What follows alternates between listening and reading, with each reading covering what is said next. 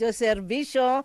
Fred kasi oh, ito po ang teleradyo serbisyo ang puntahan ng bayan at DWPM Radyo 630 kasapi ng KBP, kapisanan ng mga broadcaster ng Pilipinas. Ang oras po natin, partner. Alas 6 na, gising na, bangon na, ano ba? Alo,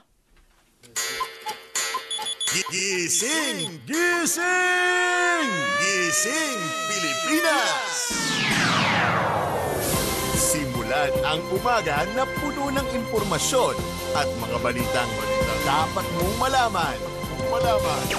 Ang katawan ay igalaw-galaw para ganahan buong araw. Sasabayan kayo sa almusal ni na Alvin El Chico, Alvin El Chico at Doris Bigonya. Doris Bigonya. Gising na. Gising na. Bango na. Bango na. Gising. Pilipinas. Oy,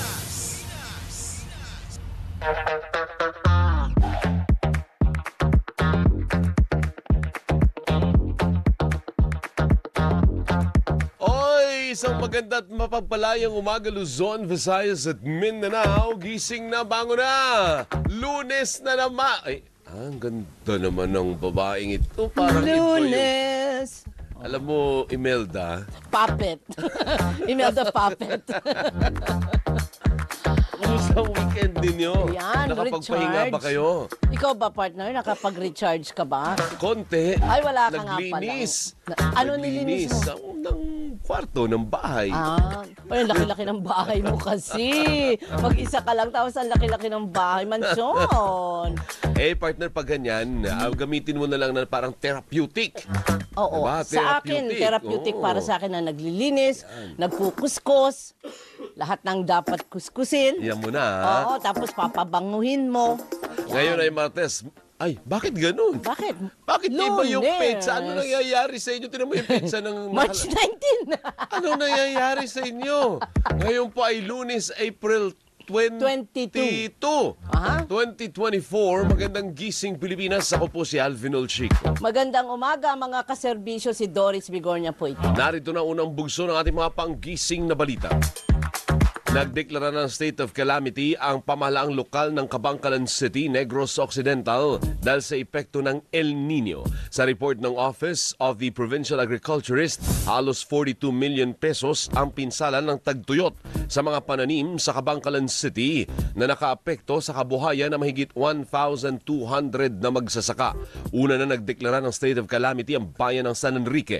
Wala pa namang plano ang Negros Occidental LGU na magdeklara ng state of calamity sa lalawigan. Halos 185 million pesos na halaga ng mga tanim at palay at mais sa Negros Occidental ang napinsala dahil sa tagtuyot. Ayan. Mga kaserbisyong motorista, ha? Mga kamote man o hindi, makinig po kayo. May abiso tayo dahil ah, may namumurong rollback. Uy, sa presyo ng diesel at kerosene bukas. Tuesday po yan. Maglalaro sa 90 centavos hanggang 1.10 kada litro ang bawas presyo sa diesel. Piso naman hanggang 1.20 sa kerosene. Pero sa gasolina, eto may mad bad news tayo, may dagdag presyo na 40 centavos hanggang 60 centavos. Nung nakaraang linggo, 95 centavos ang dagdag presyo sa diesel habang 40 centavos naman sa gasolina at 85 centavos sa kerosene. Paliwanag ng uh, Department of Energy, bumaba ang presyo ng diesel at kerosene dahil sa mahinang demand ng Amerika at China. Dagdag bawas tayo mamaya partner ha. Oo. Ah, mamaya papanunso ko yung kay Kabayan o kay ah, kina Johnson at kina Joyce kung magkano yung ah, final na magiging ah, dagdag presyo yung diesel at kerosene pababayan eh. Oo. Yung gasolina lang yung pataas. Kaya medyo namumuro ang uh, tapat Hindi namumuro sigurado na yan. Ah, sigurado. Sigurado Ako na yan. nga pala kasi Tuesday na bukas. Kinumpirma ng Department of Agriculture na tumaas ng 2 piso ang kada kilo ng bigas. Sinabi ni Agriculture Assistant Secretary Arnel De Mesa na naglalaro ngayon sa 51 hanggang 52 pesos kada kilo ang presyo ng regular at well-milled rice. Dapat anyang matukoy ang dahilan ng pagtaas ng presyo ng bigas lalo't nasa panahon pa rin ng anihan sa ngayon na ikipag-ugnayan ng DA sa National Food Authority at iba pang ahensya ng gobyerno para masolusyonan ang pagtaas sa presyo ng bigas. So wala na talaga pa rin, wala nang kapag-apag-asa yung 20 pesos. O meron eh. pa rin? Wale. Oo nga, eh, di ba? eh, oo. Eh, nung last akong umalis, para magkano ba? 50 pesos ba ang kilo ng bigas? Uy, parang pa, paakyat na ng ah, ano, 65. 65? noon. Oo. Oh my goodness. eh, Kaya ba't wala nga. namang amount dito? Ang nakalagay lang, kinumpirma. Ah, meron pala naglalaro ngayon sa 50. Aha, hanggang? 51 hanggang 52 pesos ang presyo ng regular at well-milled rice. O, nandun pa rin sa 50 plus. Pero mahal po yan para sa ating mga kababayan. Eh, dapat ang presyo niya na yung affordable lang, kahit hindi na yung 20, sige na. Kahit mga, ka- mga 35 hanggang 40 pesos. Kaya yan. Oo, eh, Kaya- pero kakayanin 50 pa hanggang yan. 52. Ba't hindi kasi maabat-abatan yung presyo ng bigas, ano? Yun na nga. Tapos meron ka pang El Niñong nalalaman. Ay ang daming problema ng mga ating mga magsasaka. Ang ang production pumababa rin. Oo. So, Tapos na nakalagay doon. sabi ko import. Ayun na nga yun. Import? Yun na nga yun. Oo, Oo, yun na yung nga. solusyon natin dyan, import. Yun. At hindi lamang po sa bigas. May nakita ko sa online uh, news sites Oo. ng istorya, i-ease. Ibig sabihin, padadaliin pa Ang? ang pag-aangkat ng mga produkto. Yun ang uh, style natin, yun ang estratehiya natin, importation. Sa sa short term, okay po yan kasi wala ka naman na talagang magawa dahil Correct. yung mga produktong agrikultura, hindi yan mamumungad the day after mo itananim. Exactly. O the Oh. day mo after alagaan, hindi mo yan maaani. Kaya ang short-term solution talagang import, import, import. Pero pinag, pag pinagkaisahan ka Hmm. ng mga bansa na nag export ng mga produktong yan, wala ka na magawa kasi wala ka na nga choice eh. At saka, Import, import, import ka lagi. tatagain ka sa presyo. Ay, syempre. So, pag tinaga na sa presyo, eh, ang pinakadulo ng bentahan, tayo eh. Oo. Kaya tayo yung pinakamasasaktan. So, ibig sabihin, wala ka ng choice. Wala nang choice. Eh kasi wala, hindi ka nag-produce eh. Oo. Hindi mo inalagaan, inalagaan yung uh, local, domestic um, industries mo. Sinabi na kasi wag ka na kasing mag-extra rice. Isa pa yan. Sophia! Isa pa yan, partner. Yung ang kukontrolin mo ngayon, yung consumption. Oo. Para sa kuryente, di ba? Correct. Oh, 'di ba yung Department of Energy eh ang panawagan sa atin lahat ay magtipid. Pero Magtipid. teka muna, ano ano pa, bakit bakit napunta sa consumer yung burden ngayon? Bakit Lagi hindi niyo eh. as ayusin yung Oo. supply? Correct. At saka Oh. bakit ninyo pinapayagan na nagkakapatong-patong, susun-susun yung mga maintenance kuning-kuning eme? Sa papel kasi maayos. Kasi nakalagay doon sa papel, ah, yan na schedule mo. Ha? Correct. Para para nung estudyante po tayo, may schedule po tayo. No? Oo. Ang nangyayari ngayon, emergency ngayon, yung pagbagsak ng mga planta na wala nang magawa yung DOE, eh paano mo sasawayin yun pag sinabing sumambulat ang boiler tube? Ala, Diyos Oh. ko. Yun yung Oo. sa sobrang init, sumambulat O, yung ano boiler sinasabi tube. Oh. ng kabayan nung Friday? Sinisip-sip na yung init daw, ganyan. So pagka sumambulat na yan, sumabog na yan, wala na, bagsak na siya. So ano Dahil sinasabi ni? Kabayan, yung init, Oo. parang sinisip-sip yung enerhiya mo. Hindi naman yung mga planta specifically. Parang Oo. ganun eh. no? Ay, nako, ito pa isa nakakainit ng ulo. Muling binalaan ng China ang Pilipinas. Ganun talaga ang China pa. Hiyang-hiya naman ako sa inyo. Muling binalaan ng China ang Pilipinas sa pagpanig nito sa Amerika at umano'y pagbaliwala sa gentleman's agreement para sa status quo sa Ayungin Shoal. Una nang binatikos ng Department of Foreign Affairs ang China na anilay pasimuno ng gulo sa West Philippine Sea. Pero ayon sa Chinese Foreign Ministry, ang Pilipinas ang dapat sisihin sa tensyon sa West Philippine Sea dahil sa pagtalikod nito sa kasunduan ni na dating Pangulong Rodrigo Duterte at Chinese President Xi Jinping. Kinastigo ng Chinese Foreign Ministry ang tripartite summit ng Pilipinas, Japan at Amerika at pinalalabas nila na biktima ang Pilipinas at pinepressure ang China. Hindi nila isusuko ng China ang soberanya at karapatan nito sa mga inaangking teritoryo sa West Philippine Sea. Dagdag pa ng Chinese Foreign Ministry, dialogo at konsultasyon ang susi para sa mas ma- para masolusyonan ang tensyon at hindi ang pagpanig ng Pilipinas sa Amerika. Dialogo, dialogo ka Dialogo dyan. Tapos lulukohin nyo lang kami, dialogo at konsultasyon. Tapos hindi nyo naman papayagan yung mga barko namin na mag-resupply mission. Migil-tigil nga kayo. Ano ba ang ibig niyo sabihin pala China doon sa dialogo? Mag-water cannon? Ninit niyo ulo ko lunes na lunes ha. Ito na naman, may problema na naman ako sa driver. Lilamokos ngayon. maganda maganda umaga sa iyo, Mark Hernandez ng South Pacific. Sabi niya, understandable yung presyo ng oil. Eh, pero tayo yung may control sa produksyon ng bigas. Hindi natin maayos-ayos yung presyo. Sa totoo lang, hindi na rin po tayo kasi part ng ating supply imported. Correct. Hindi na natin kaya na pakainin lahat ng bunganga dito sa Pilipinas. kaya kailangan na nating mag-ang... Hindi pa sa totoo lang, di Correct, ba? correct. Ang problema dyan, naaalala ko tuloy bigla, yung mga leksyon natin nung elementarya tayo. Oh. Na meron tayong ah, tinatawag na rice granary. Oh, ha? Yung ano yan, pa, the uh, Nueva Ecija, the rice Ecija. uh, rice bowl. Yan, Of the oo. Philippines, oh. Eh ngayon, puro rice bowl nga, pero pinadeliver mo na sa panda. maganda maganda umaga po sa lahat ng mga taga Nueva Ecija. Morning! Kumusta po yung mga magsasaka natin dyan? Hmm? Sabi ni Dr. Carlo Lazaro, correct, tayo pa yung mag-adjust lagi year in and a year in and year out lang naman yung problem natin. Baha, tagtuyot, init, traffic. Kailan pa ba i-memorize yan? O, Ah, kaaga-aga, ano, traffic, naglilitan niya tayo, brownout, ano? Yung mga ganyan. O, lu- sorry naman, lunes na lunes. Pero kapit lang po tayo dahil patapos na rin ang Abril. Partner, akalain mo patapos na Abril? 22 pa lang naman. Masyado ka nagmamadali. Walong araw pa. May isang Birthday linggo na ni pa. Nicky eh. Oo, Nino? Nicky. Ay, Nick, can Sa today? 27. Ayun pala. Happy, happy birthday, Nick. Ha? O, di patapos yung newscast natin. Ay. Pinasinungalingan. Wala ba mas ibang mas mahirap pang word dito? Hindi ba pwede itinanggi na lang? Itinanggi ng Bureau of Immigration ang balitang halos 5,000 Chinese students ang nag-aaral sa isang pribadong universidad sa Tuguegarao City sa Cagayan. Ayon kay Immigration Commissioner Norman Tansinko, apat na raan lang ang mga Chinese students ang nag-aaral sa St. Paul University. May git 1,500 anyang estudyante ang iniendorso ng universidad para makakuha ng visa pero karamihan sa mga ito ay nasa ilalim ng distance learning program. Paliwanag ng BI, kumuha ng visa mga estudyante na naka-distance learning program para payagan silang makabalik ng Pilipinas para mapuna ng mga requirements ng paralan tulad ng thesis, defense at graduation. Eh ba't ngayon lang kayo lumabas? Nung isang araw, eh, ilang araw na ba lumabas yung istoryang yan? Kaya nga. Oh, hindi ho ba? Kung ready ang datos nyo, di pa, antimano, pag nilabas, ni, may naglabas ng 5,000, o di nag-press release ka agad kayo na, "Eh, hindi 5,000! Kaya nga. O ba't 400 pinalipas lang. nyo pa yung sangkaterbang Oo. araw bago kayo nag-react? At saka ano, Ano I ba? deserve an explanation. Bakit sa Tugigaraw? Sige nga.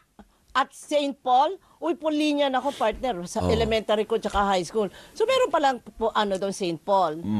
So ang mga Chinese na mga kapatid ko, Polinians pala ito. Hindi, mamaya tatanungin natin yung mayor. Kakausapin Yan, natin yung yan, mayor ng yan. Tuguegarao. Mhm. Kasi nagagalit si mayor eh. Bakit eh bak- bakit ganun mali yung ah, paratang sa amin?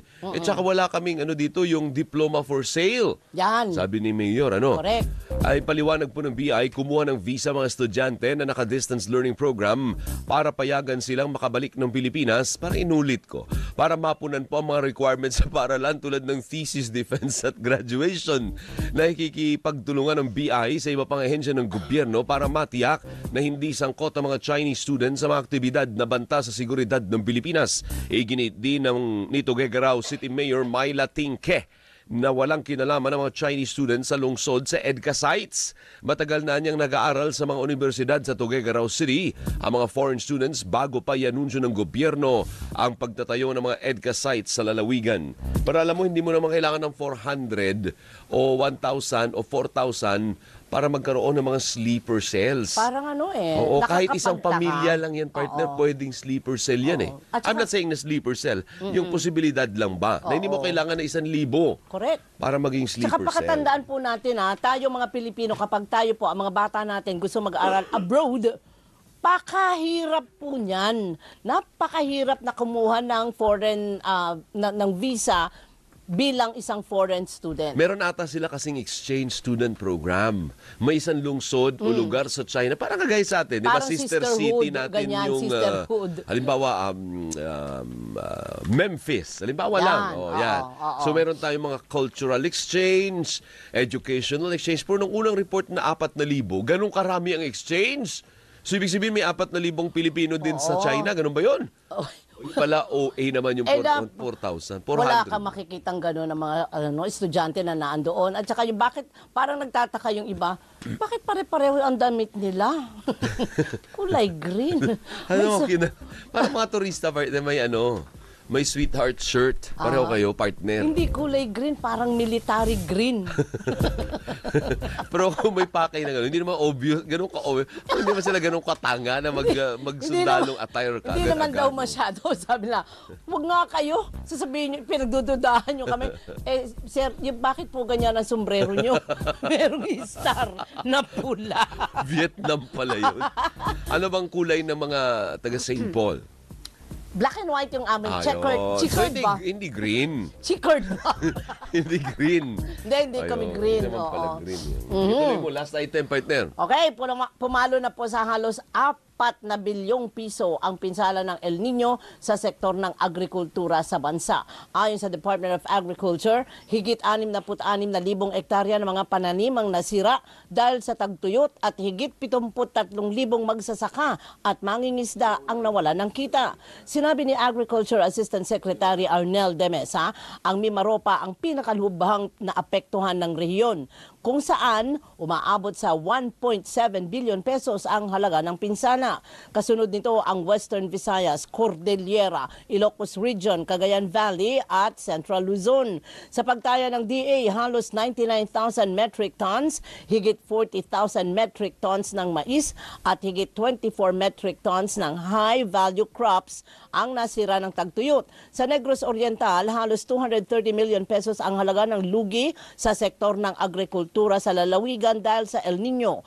Ayon, excuse me po, Ayon sa DA Provincial Agricultural Agriculture Technology Coordinating Office, apektado ng matinding tag-init ang mga tanim na palay, mais, high-value crops tulad ng gulay at prutas. Gayon din ang mga palaisdaan, livestock at agricultural infrastructure sa labintatlong bayan at syudad sa Negros Oriental pinakamalubhang na apektuhan ang bayan ng Mabinay kung saan higit 100 million pesos na halaga ng mga tanim na palay at high value crops ang nasira ng tagtuyot. Ano pa natira?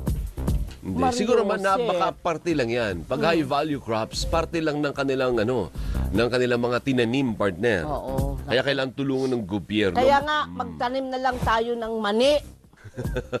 Hindi yan na high value partner eh. Eh, para kay Rose high value. Kanina, in- bumibili siya lang mani kay ano, Josie.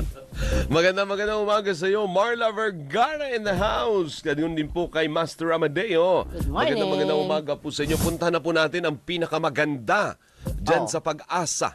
Wala iba kung hindi si Ma'am Veronica Torres, ang aring pag-asa Mm. weather forecaster. Ma'am Veronica, good morning po sa inyo, Ma'am Veronica. Good morning, ma'am. Maganda sana kaya lang sa medyo delayed. po. Ayan, yan, yan, yan, yan. Ayan. Patingin, patingin. Ah, saan? Patingin yung Naka-zoom? pinakamaganda sa pag-asa. Ayun, oh. Ayun, oh. Ah, oh, oh, oh, oh, oh. ganda. Kita mo naman, ha? Kahit sa anggulo, ha? Pag naka-side view, kamukha nino. Obit. Oh, hindi siya, oh. Mali, mali, mali. Sabihin ko sana pag naka-side view, kamukha ni Ann. An Ah. Kalumarde. Ann Curtis. Ann Curtis. Ay, Pagka medyo konti pang anggulo, kamukha naman ni Angelica Panganiban. Yan ang sinasabi ko sa Kakakasal iyo. lang. ha? Oo, kakakasal lang. Ayan na, Veronica, ang build-up ko. Ha? Kailan maganda-gandang balita ito. ha? Sobra na yung build-up ko sa iyo. ha? Ano magiging tayo ng panahon for today, Ma'am Veronica? Po, sa ngayon po ay ang nakakaapekto yung trough ng low pressure area ex- or extension nito sa may southern Mindanao. Kaya asahan nga po natin yung maulap na papawirin, mga kalat-kalat na pagulan, pagkidlat at pagkulog sa may Basilan, Sulu at Tawi-Tawi. Then yung reach ng high pressure area nakakaapekto sa may silangang bahagi ng northern Luzon. So kapag reach ng high pressure area nag extend sa certain parts ng lugar natin, asahan natin yung less cloud development, then meaning mas mababa yung chance ng mga paulan. So asahan nga din natin sa Metro Manila and the rest of the country, partly cloudy to cloudy skies, may mga chance ng mga localized thunderstorms. And also, inaasahan nga natin dahil may reach na high pressure area na nag-extend sa eastern section ng northern Luzon, posible pa rin yung mainit at maaninsangang panahon sa malaking bahagi ng ating bansa. So Then, partly, maliban- ano daw sabi mo? Partly cloudy to cloudy sa Metro Manila? At may mga Ay, good thunderstorms. news yun. Oo. Oo, kahit pa paano, Opo. merong lilim. Correct. Oo. Oo. Pero, pero kamo, ay- aaraw pa rin pagdating ng what? Tanghali o hapon? Opo, inasahan nga po natin na magiging mainit at maalinsangan Mm. pa rin yung panahon mga for the whole day din po. Ah, mainit Pero pa bumaba, rin. bababa yung ating nararamdaman na heat index, ma'am? Opo, sa ngayon, kung dito po titingnan natin sa may Metro Manila or dito sa may Quezon City, posibleng umabot ng 40 degrees Celsius Mainit yung pa heat rin. index. Init. Oo, mainit oo. pa rin. Ano yung may listahan pa tayo dyan ng for today ay pasok sa dangerously hot ah, ano um, heat index Yan. sa ng mga lugar sa Pilipinas.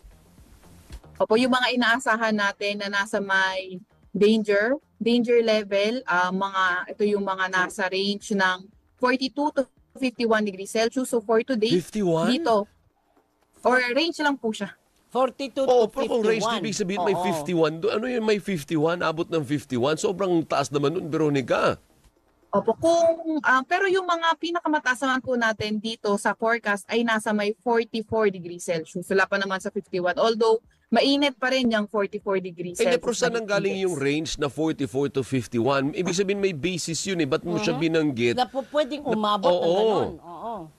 Opo, um, ano, ayun lang po yung nasa may, kasi may iba't iba po tayong classification. Kunwari, 27 to 32 degrees Celsius na heat index, parang nasa may caution. Then, 33 to 41 degrees Cel- Celsius, extreme caution. Then, 42 to 51 degrees Celsius, danger. Then, 52 pa taas ay extreme danger. po. Ah, okay. Yun So pumasok niya. siya doon sa kategorya na dangerous. Kaya nandun siya Opo. sa 42 to 51 but not necessarily naaabot ng 51 today. Oo. Opo. Correct. Ano-ano mga lugar na yan? Pakisa-isa mo nga, Veronica.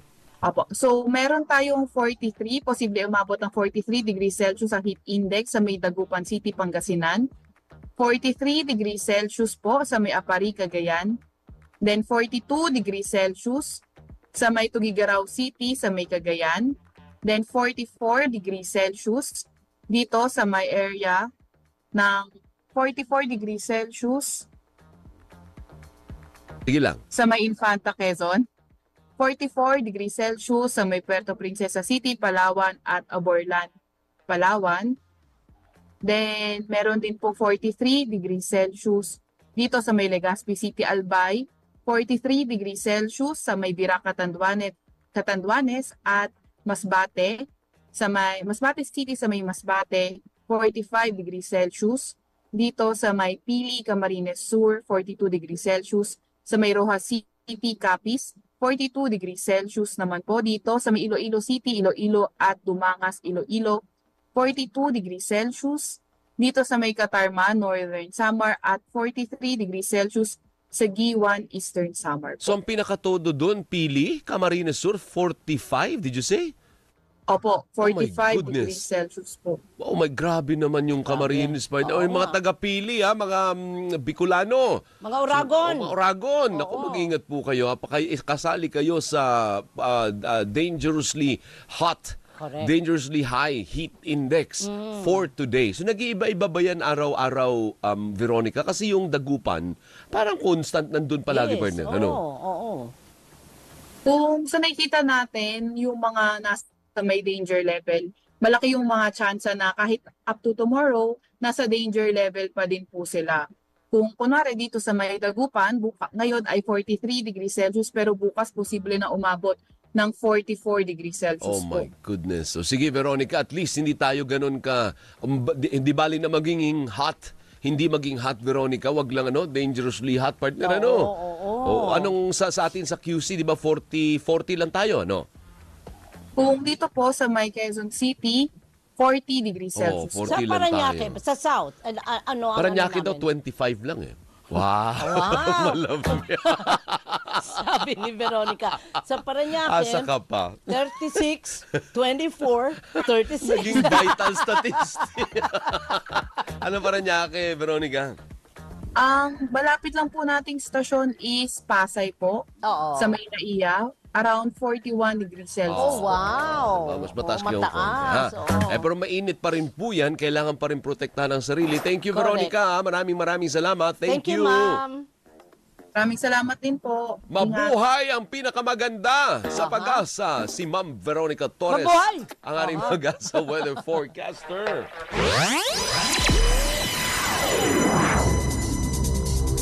Hoy, meron tayong follow-up dun sa sunog sa Pasig. Ihatid po yan ang ating... Sige lang, Sorry, partner. hindi Wala pa, hindi ka pa tinatawag, Christian. Christian, Masyado nagmamadali naman. Oo. Nililidin, nililidin kita.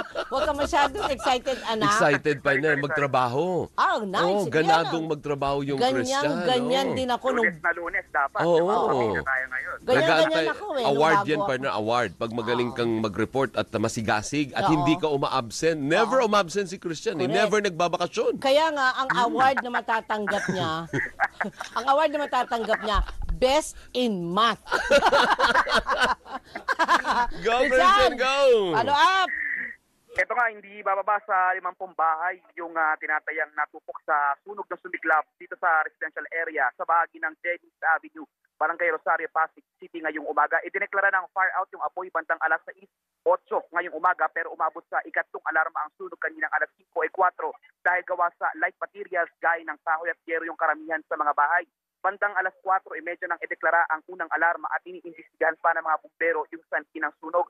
Patuloy namang kinokolekta ng mga bumbero yung report pero ayon sa CDRRMO, isang uh, limang taong gulang na babae at isang 30 anyos na lalaki ang nasugatan at binigyan na ng paunang lunas. Wala namang namatay dahil sa sunog at sa ngayon nga ay andito pa rin yung mga bumbero dahil muling sumiklab yung apoy sa isa sa mga bahay at makapal pa rin yung usok sa lugar. Abiso na lamang sa mga motorista na iwasan muna yung bahagi ng Jennings Avenue dahil nakasara pa rin dahil sa mga nakaparadang truck ng bumbero at mga lumikas na residente.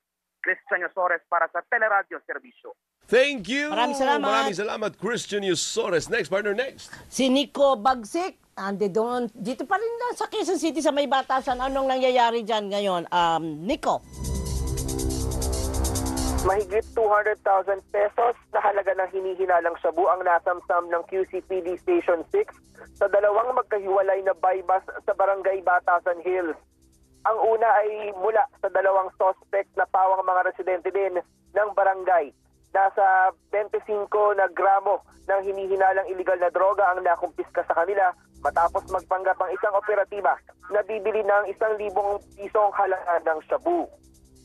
Samantala, isang lalaki din ang naaresto sa bahagi naman ng De Gloria Extension Talanay Area C kung saan bukod sa limang gramo ng shabu umano ay nakakumpiska din ang mga otoridad ang ng isang ah, kalibre 38 na baril na may karga pang tatlong live ammunition. Ayon sa QCPD Station 6, mga newly identified drug personalities itong tatlo na nasa kustodiya na nila. Ikaw Bagsik, Teleradyo Servisyo. Thank you! Maraming salamat maraming, maraming salamat. Nico Bugs. Magbabalik pa rin po sa ating pagbabalik. Kakusapin natin ang alkalde ng Tuguegarao, Hmm. si Mayor Myla Rosario Ting Ke ng uh, Tuguegarao City dyan sa Cagayan sa pagbabalik ng Gising Pilipinas! Gising na! Gising na! Bango na! Bango na! Gising! Pilipinas na!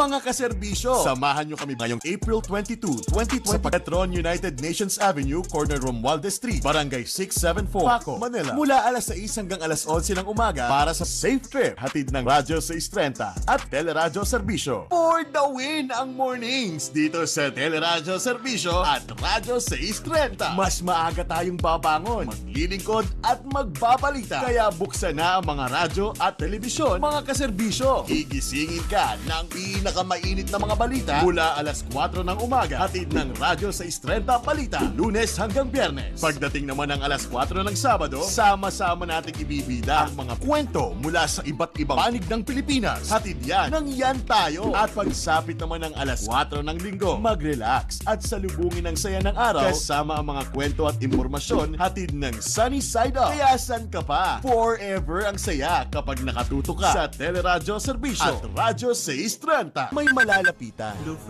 masasandalan, maaasahan, at karamay sa oras ng pangangailangan. Andito sina Ate P, Bernadette Sembrano, Kapiling po natin ang ating mga serbisyo squad, tutulong at kakalinga. at Tita Winnie Cordero Balang magbibigay sa inyo ng kwentuhang puno ng inspirasyon. para maghatid ng tulong sa Tatak Serbisyo. Lunes hanggang Biyernes, alas 10.30 ng umaga sa Teleradyo Serbisyo at Radyo sa East 30. May gusto ka bang i-flex? Pwedeng sa TV, pwedeng sa online, pwedeng sa vlog.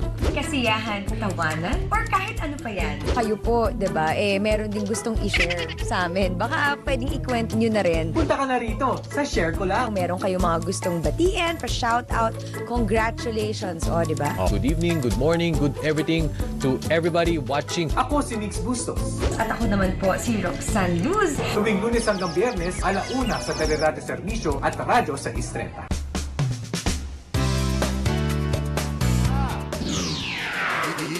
Gising-gising Pilipinas na! Isang magandang umaga po kay Mayor Myla Rosario Tingke ng Tuguegarao City sa Cagayan. Magandang umaga po sa inyo, Mayor. Good morning, ma'am. Magandang umaga, Sir Alvin, Ma'am Doris. Ay, Yes, hindi kita masyadong makita. No, Nasaan ba si ma'am? Ah, Ah, nuknukan naka-zoom na. ba? Ayan! Ayan! Nakita na kita, Oh, Mayor. Ano? wow. Kumustang panahon po dyan, ma'am? Medyo mainit. Kasali ata yung kagay... Kasama ay, hindi sila? apari pala. Hindi, tug... Hindi, ay, hindi Tuguegarao Tuguegarao, din. kasama. O kasali po kayo, ma'am, sa dangerously hot o dangerously high heat index for Oo. today. Opo, um, parati naman po kaming talagang nasa listahan Oo dahil nga eh. ates na po ako Tuguegarao City. Oo nga po eh. Pero, pero talaga pong totoo, ma'am. Nuknukan ng init sa inyo. Nuknukan ng sakit. Yung tama ng araw. Um, yung ano, yung ma- parang oven. Ayun. Aray ko, di ang grabe, sakit ano. niya sa balat. Oo. Oo. Medyo po, no? Pero pagka January, February, sobrang lamig naman. Ala, Ah, extreme sila. Ah, Oo, ganun. asan tagal ko na partner napunta Ako ng din eh. Tuguegarao. Ang tagal na Ano rin. coverage days pa eh na, ang nang napunta ako ng Lagi eleksyon. Tuguegarao. Ako weather, weather Ah, related talaga? pag may mga bagyo no, pati yung Apari. Pag nahabol dati yung mga bagyo papuntang Apari. Ilang oras yung Apari pa ah, Tuguegarao to Apari, ma'am?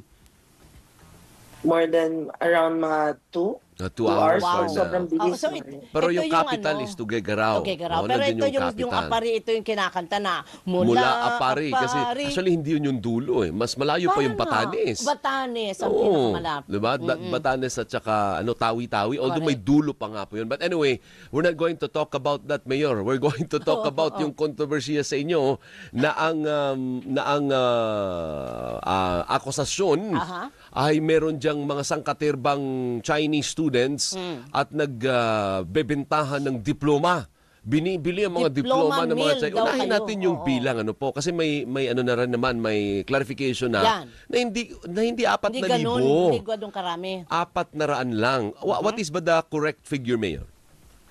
Alam nyo, kami man ano, nagtatanong last year. Kasi syempre napapansin natin pag may nagsasabing may naglalakad na madami, nagtanong tayo. Ang sinabi sa amin, ang enrolled was 1,000 to 1,000 plus enrolled. Hindi po sinabing physically nandoon sa Tuguegarao, no? Kasi may online ata. As was clarified by the schools uh, during the forum na pinatawag ni Governor Mamba uh, last week to clarify things, no?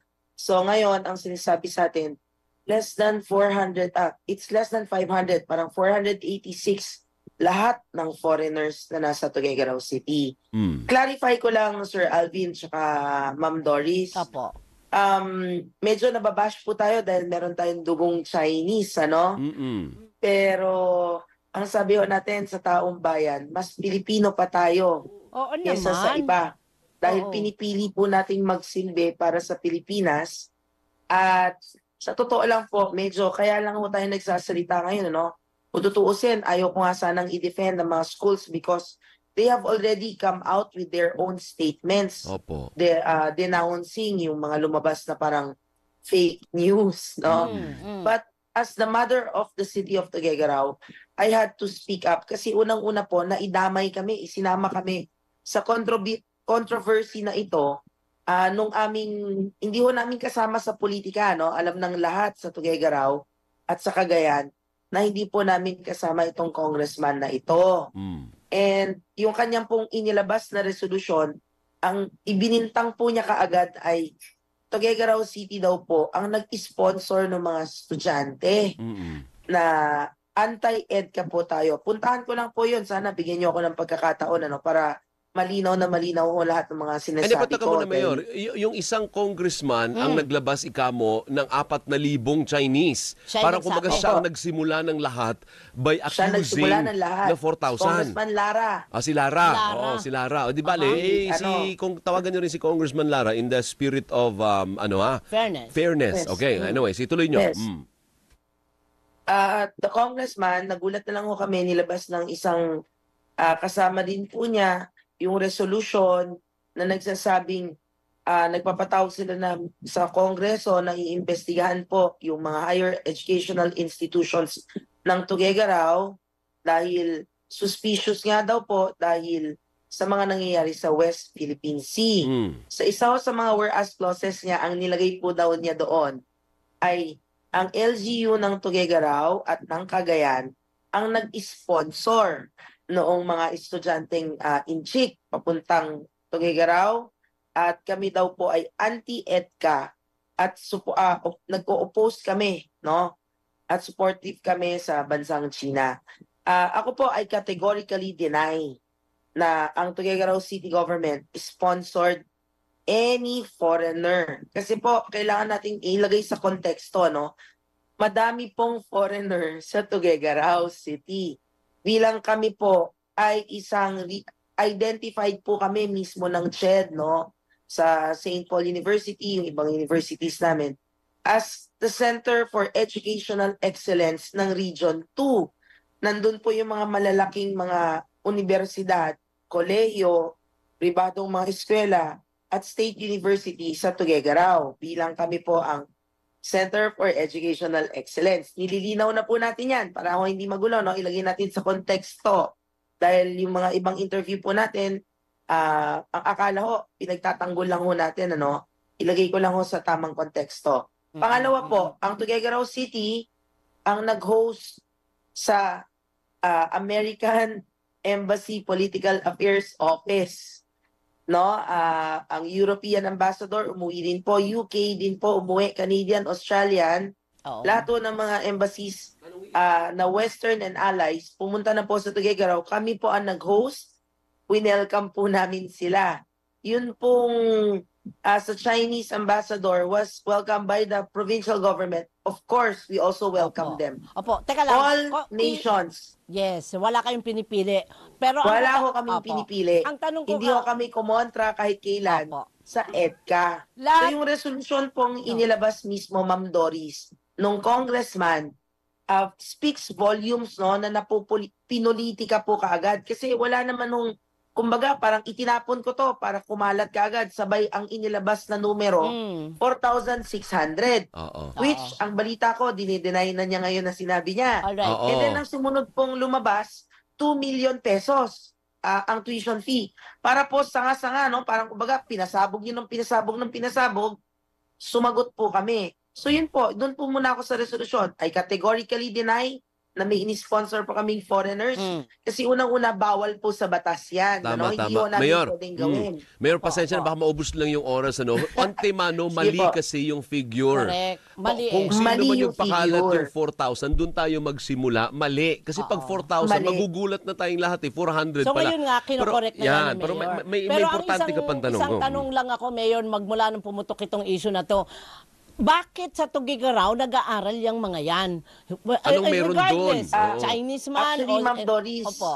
Ma'am Doris, Sir Alvin, ah, si St. Paul po, according to news reports at sinabi rin ni St. Paul, si St. Paul po at ang CHED and along with nine other universities no sa buong bansa nung nagpunta ang presidente BBM sa China ah nak- nakapag-ink po sila nag nagpumirma po sila ng mga kasunduan ano na para magkakaroon ng mga exchange ng mga students nagkaroon po sila ng kasunduan na oh papasok ang turista papasok ang mga estudyante hindi pa po na-identify ang Cagayan as Oh. EDCA site noon Ah, bago po itong mga Chinese students na ito dumating pa sa atin, madami na pong Indiano, madami na pong South Korean, madami na pong may Pakistan pa daw po last year, no? Kasi nga ho, Center for Educational Excellence. Yun pong aming mga universities sa Cagayan or sa Tuguegarao City to be specific, yun po ay parating mga nasa nanana- nananalo na, na, na acknowledge ng iba't ibang ah, mga ahensya Opo. at sila po ay mga top notchers, nagpo-produce po ng mga top notch sa board exams, sa mga lahat po. ah, Sa, sa Opo. makatuwid, Mayor. sa makatuwid, Lahat po. magandang klase ng Maganda school. ang kalidad. Yung St. Paul. Hindi Maganda siya po. pipitsugin. Magandang eskwelahan Correct. yan. Sabi ko nga, Oo. ano, affiliated po ba siya yun sa mga St. Paul dito sa Manila, sa Pasig, sa Paranaque? Sila po ang naunang St. Paul. Ayun. Sa mga madre yan. Madre. Sila po talaga Catholic ang St. Paul University. ah, okay. so, okay, okay, madre okay. pa rin po nagpapatakbo, Mayor? Oo po, madre po. Ayun, pa pa, rin. ka- kasi si Doris And they po, have Mayor, local St. Paul. autonomy. Opo. Oo. And they have local autonomy since I think 2012 Okay. or 2002. Ayan. Okay. May so- local autonomy po sila. Okay, Mayor proceed tayo, no po. So hindi po kayo nababahala na maraming Chinese diyan kasi ang sabi naman ng iba, mga baka mga sleeper cells yan. Yan, oo. Baka bigla na lang yan na may command from taas tapos atake na yan sa atin. Hindi po ganun ang sitwasyon, hindi po nakababahala na maraming Chinese Mm-hmm. students diyan. Hindi po, kasi madami rin pong ibang foreign students. So para sa amin po, pinatanong naman namin yan last year. Gusto ko rin pong linawin to. Hindi po ako against sa investigation. What I am against is the misinformation and the local politics na mag-i-influence sa foreign policy. Ano? Para ho malinaw tayo na malinaw to. Hindi ako in- against dyan. Kasi kung may allegations, ang dapat pong mag-imbestiga dyan, SHED at saka BID, hindi po local government unit. Kasi, ah Ma'am Doris, Sir Alvin, ang local government nga hindi makapagdeklara ng cancellation ng classes ng private schools at saka ng mga universities kasi they are under the guidelines of SHED, no? May local autonom- autonomy and academic freedom na tinatawag sila. Tama. Sa amin, Mm. kung imbestigahan ng SHED yan, imbestigahan ng BID, we're very happy to cooperate. Last year po, September, ah, nung napapansin ho namin, may mga comment-comment, nagpatawag ko kami ng, na- ng ating ano, National ah, Intelligence Units, nagpatawag po tayo ng PNP, nagpatawag po tayo ng BID, nagpatawag po tayo ng DFA, pati po PIDEA, pinatawag namin sa NBI. No? Meron ho kaming ah, listahan. September 25 to be exact. Tinanong namin sila, may marching orders kami. Pakibantayan, pakicheck. Meron ba tayong narinig na ginagawang illegal? Meron bang mga reklamo? Wala po, ma'am. May listahan po ba tayo? Ma'am, ah, wala pa akong binibigyan ang eskwela kasi may data privacy po sila. Mm-mm. So tinawagan natin ang mga eskwelahan. Sabi ko, ah, ito po yun, baka mamaya ah, may masabi na naman dahil napili tayong EDCA sites. We guarantee you, Mayor, that they are students. Oh, that's No? good. So ma- mas marami Come po ba yung December. Mayor, mas marami ba ang Chinese students diyan kaysa mga Korean kasi dito sa amin napansin namin actually maraming Koreano ha. Ngayon, marami May mga Korean Koreano. town. Paano na mas marami? Koreano o Chinese? We don't have the exact breakdown, pero at, at, at any certain given time, sa panahon namin sa Tuguegarao, sa na-observe po namin, ano, may time na puro Indian. Puro Ah, Indian, po India. talaga makikita mo. Oo, okay. May time, may time na puro may Japanese, Japanese. Sa amin po si Tuge Zombie, Nigerian. Nagkaroon din po kami ng mga Nigerian, ano. So, minsan, kung South Korean yan, akala Chinese. Kasi pareho features. Mm, mm. Ma- Pareho tama. features, di ba? Japanese, no? Oh. Opo, Ang- may Japanese. Opo, ang importante Alam Mayor. nyo, um, mm. Sir Alvin, Opo. Ma'am Doris, pati ho noong December 29, nagpatawag po ulit tayo kasi nag-follow up tayo. O, meron po bang report? May illegal po bang nangyari? Wala naman pong ini-report sa amin. Kasi kung may ini-report, edi sana gumalaw din po kami, di ba? Correct, correct, there are correct. things po na hindi rin namin pwedeng i-disclose dahil sabi nga natin, seguridad.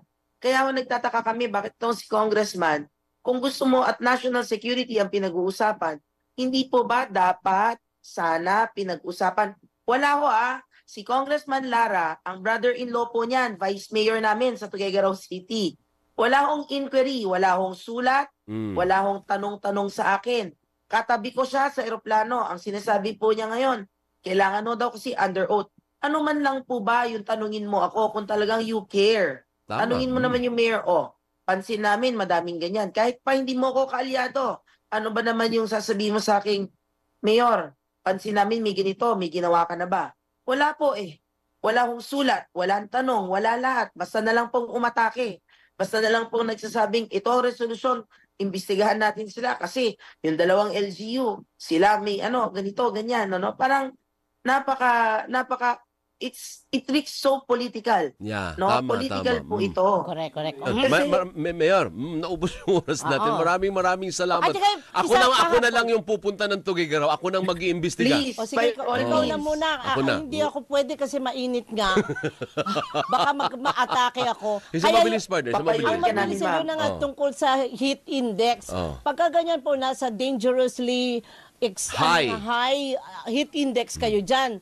Kayo po ba ang nag, um, nagre-recommenda na wag nang magkaroon ng face-to-face classes sa mga bata? Last, ah, nakaano na po kami, um, blended po kami. Ma- ah, ang sinabi ho namin, nagpatawag kami ng City Health Office namin, nagpatawag po kami ng SDO namin last last week pa, Mm. Ma'am Doris, no, matag ah, Ah. proactive po kami sa amin po. Okay. Before it happens, we already called for it. Ang Oh, napagkasunduan po ay morning classes lang po, uuwi ng alas 11. Pagkatapos po noon, blended na po kasi after that, sobrang init na Correct, po. correct. Ayan, yung mga salamat, oras. Mayor. Yeah. Mabuhay ang Tugigaraw City! Mabuhay si Mayor. Thank you, Mayor. Po. Ha? Maraming maraming ganadong ganado si Mayor. Nagkakalaiti. Si Thank you, Mayor thank you, Mayor. Ha? nakapag- nakapag-almusal na. Ah, yes, syempre. Oo. Uh, ma- mataas din yung energy, partner. Mataas ang energy, Yan ang masarap na, na eh. hindi, partner, nag, uh, nag longganisa. Ma-. Ano eh, anong salita Ah. sa Tugigaraw, Mayor? Oo. Ibanag po, ibanag. Ibanag. Ibanag. oo. Kasi Oo. sinababi kanapi, mga ibanag yan, partner. eh. Ah. Mga longganisa, masarap. Masarap. Yung um, garlic. Yan, Ay, ang sinasabi Pansit ko namin, masarap din. Anong Ayan. tawag sa pansit? Pansit Batil Patong. Ah, sa inyo pala yun. Alin Meron daw? din dito sa Quezon City. May nakakainan akong pansit ba- batil patong partner. Uwi po Ah, kayo ng parang Tugegaraw. oo, yan, oo. Yung may suka. Halos ka, lahat ng kanto may pansitan. Oo, may pansitan. Eh, makabisita ang ah, one of these days sa Sige, you, thank you. nakabisita ka, ha, Maraming ng salamat, Mayor. Ha? Maraming salamat Thank you, po. Mayor. Maraming Mag-ingat kayo salamat lagi si Mayor Myla Rosario Ting Ke ng Tugegaraw City sa Cagayan. O, gusto natin lahat natin mga kaserbisyo ay may safe trip. Alex, where are you today, Alex? Nasaan ka ngayon? Safe Trip, hatid ng Radyo 630 at Teleradyo Serbisyo. Alex! Phew! and Doris, ongoing pa rin, syempre, ang ating Petron Metro Tour para paalalahanan ng ating mga kaserbiso at kasuper na magkaroon palagi ng safe trip. Kaya naman, ngayong Monday morning, nandito tayo sa Petron, United Nations Avenue Corner, Romualdez Street, Barangay 674, Bacol, Manila. At tuloy-tuloy pa rin po tayo ha sa paurigay natin ng regalo. Kasama rin syempre ang Pudgy Bar at Refresco at mga kaserbisyo, ang kailangan nyo lang pong gawin ay magpadikit ng Radyo 630 sticker. Pero bago po ang ating safe trip tip today, syempre pinapaalalahanan pa rin natin ang ating mga kaserbisyong katsuper na hindi pa rin po nakiklaim. Naku! Ang kanilang 10,000 piso at iyan po ay sina Reynaldo Austria, Bamba Rolando, Chris Sevilla, Rafael Espina, Julian Galvizo, Raymond Puwante, Julie Garcia, Nandyan din po si Edwin Lantaco, Louis Cabreja, Celso Cartel, Orlando Bacani at mga kaserbisyo kong kilala nyo rin po ha, si Romel Rivera, Rogelio Maurera, Federico Ocampo III, and Georgie Alejo. Naku, paalalahanan nyo na po sila i-claim ang kanilang 10K. At syempre, para po sa ating Week 7 winners, nakakabunot lamang last Friday. Congratulations po kina Ramon Richa Huerta, Ferdinand Esposo, John Mary, Silvestre, Eugene Parejo at si Luisito Rozon. Maaari niyo na po i-claim ang inyong 10,000 pesos at kumunta lamang sa ground floor ng ABS-CBN Compound, Sergeant Pascal Street, Liman, Quezon City, mula 9 a.m. to 5 p.m. at dapat lamang si Sir June Martinez. At para po sa ating safe trip tip today, syempre gusto natin lahat ng ating mga kaservisyo ay safe sa road para sila po ay makauwi, makapunta sa kanilang paroroonan ng safe po. Kaya panatilihin natin ha, nasarado ang bintana ng ating mga sasakyan dahil malaki ang maitutulong po nito sa bilis or speed ng ating sasakyan. At syempre, bagin po sa pagtitipid doon ng gasolina dahil mahihirapan ang inyong makina na hatakin ang inyong sasakyan pausad kapag po nakabukas ang bintana ng mga sasakyan. Bukod rito, hindi kayo makakalanghap ng usok mula sa labas at magiging safe din ang inyong gamit Iwas ito sa mga maaari. Naku, na magtangkang pagnakawan po kayo o haplutin ang inyong gamit habang nakatigil ang inyong sasakyan, kung sakaling traffic man po. Dahil nga nakasara ang pintana, mahalaga rin po na siguradong maayos ang aircon ng inyong sasakyan para naman syempre maginhawa ang pagmamaneho sa kalsada. Bukas po ha, April 23, 2024, nasa Petron Marcos Highway de La Paz, Pasig po tayo. Kaya see you there, mga kaservisyo. Muli ito po, si Alex Baltazar. Back to you, Alvin and Doris. Thank you! Maraming salamat. Maraming maraming Happy salamat. Monday sa'yo. Alex Oo, at saka Baltazar. ano, mag, mag-lipstick ka pa ha, medyo mapusyaw eh. Ha? Redan Hindi mo pa. masyadong mapula. Hindi masyado. Dagdagan pa pwede. Dagdag. Thank you, Alex. Thank you, Gusto ko Alex. si Ate Josie bigla. Ayan. Thank you po. Thank, Thank you. you. Maraming salamat kay Alex Baltazar. Safe Trip, hatid ng Radyo 630 at Teleradyo Serbisyo. DTI Fair Trade Permit Number, FTEB 187448 Series of 2024. Boy, balita ko birthday mo ah. Sinong may birthday? Jojo, birthday pala eh. Ah, Oo. Bakit? Bakit walang papansin? Kung alam ko lang na birthday mo, di hindi kita na sermo ng kaaga-aga. birthday mo pala. Happy, happy birthday! At bigay mo ngayon, Camila, anong tunay na pangalan nito? Joris. Anong full name? Go! Go. Aha. Ay, kaano-ano niya yung may-ari ng Cebu Pacific? Mga go yun ah. Ah, ano niya, pinsan? Michael Joris Go! Happy, happy birthday! Happy birthday sa'yo, anak! April Anduka. Birthday din partner ni April Anduka. Happy, happy birthday, April! April! ano ba, tama ba ako? April? Tama yan, Ah, partner. tama, April. May happy. pakain ba today, partner? Wala eh. Hindi na ba ako mag-breakfast for today? Wala eh. Ah, wala? Walang, pakain si Oh. Joris eh. Saka si Joris, April. ay, alanganin kasi eh. Alanganin sa sweldo eh. Correct. Oh. Pero good morning pa rin kay Camille Postolero. Andyan nga, partner. oh. Maraming Oo. maraming salamat sa iyo, Camille. Hindi na rin nagpahinga yan for the whole week, partner. Hindi, kahapon may problema rin. Binulabog ko din ito. Oo, may problema din. Pero maraming maraming salamat doon sa mga nag, ah, nag ano sa atin, sa nag-repost ba ang tawag doon? Mm. Sa X, ganun din sa may ah, sa iba pang social media Platforms. platforms. Ah, ah, an- nag, nag-trending daw tayo, partner. Talaga? Oo, dahil, Dahil nag- naka-Pokemon ano po, tayo. ah, oo. Oo, maraming salamat sa inyo. Hindi nga ako sigurado kaya hindi ko pinatulan pa rin. Baka ako negative eh. Ako din. Yun ang una kong tanong kay Camille. Good or bad? Pero Oo. good naman Ulitin daw. natin, mag-attire tayo ulit ng ganun, ha? O, teka muna, ano na naman itong motorcycle lane na ito? Gusto na naman ng DOTR magkaroon ng motorcycle lane? Tigilan niyo ako. Tigilan niyo Paulit-ulit. ako. Di ba sa Commonwealth meron diyang Oo, motorcycle lane? EDSA. Sinusunod ba? EDSA, din- nilagyan nila EDSA. Maya-maya hindi natin, al- natin alam. Sinikret sa atin ng MMDA. Wala na palang motorcycle lane. Ano ba talaga? Atoy Santa Cruz, Yan. ang president po ng Motorcycle Federation of the Philippines sa pagbabalik ng Gising Pilipinas! Gising na! Lika na! Gising, gising Pilipinas na!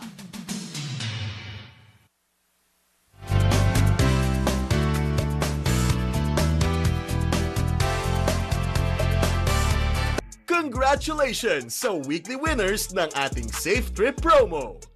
Reynaldo Austria, Bamba Rolando, Chris Sevilla, Rafael Espina, Raymond Tuante, Jure Garcia, Edwin Lantaco, Louis Cabrejas, Celso Cartel, Orlando Bacani, Romel Rivera, Rugelio Morera, Federico Ocampo III, Joji Alejo. Pumunta lamang sa ground floor ABS-CBN compound, Sergeant Esguera Street, Diliman, Quezon City, 9 a.m. to 5 p.m. and look for June Martinez. Tuloy lang ang pagsali at baka ikaw na ang susunod na mananalo sa Safe Trip. Hatid ng Radyo 630. Gusto mo bang malaman ang pinakabagong balita, issue, impormasyon, at syempre, meron pang serbisyo publiko. Tutok na sa Teleradyo Serbisyo. Patuloy na napapanood sa Sky Cable, Converge Vision Box, GSAT, Cable Link at CNET Cable. 183 cable providers nationwide. TFC, I Want TFC. At sa Teleradyo Serbisyo, YouTube channel na pakikinggan din sa Radyo sa Istreta sa Mega Manila. Patuloy tayong maglilingkod mga kaserbisyo. Hello, attorney. Kapag naman ang mga kababaihan. Uh, pag yung karapatan ng mga bata. Punta na rito para sa mga pangangailangang legal. Sagot namin yan sa Hello Attorney. Lunes hanggang Biyernes, alas 2 ng hapon sa Teleradyo Serbisyo at Radyo sa East 30.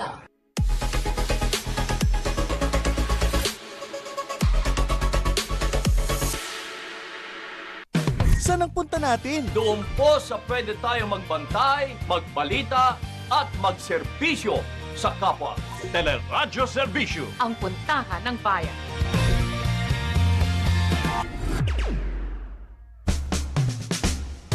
na! Bango na! Gising Pilipinas na! Noriel Aragon, magandang magandang umaga sa iyo. Noriel Aragon, ganun din si Mariví Galisanao na nagpatotoo. May mga schoolmates daw siya sa St. Paul at St. Louis University in Tuguegarao. May St. Louis din pala sa Tuguegarao, partner. Held them in good esteem, academically, even back then. Ah, ibanag at itawis nga raw po yung salita. Okay.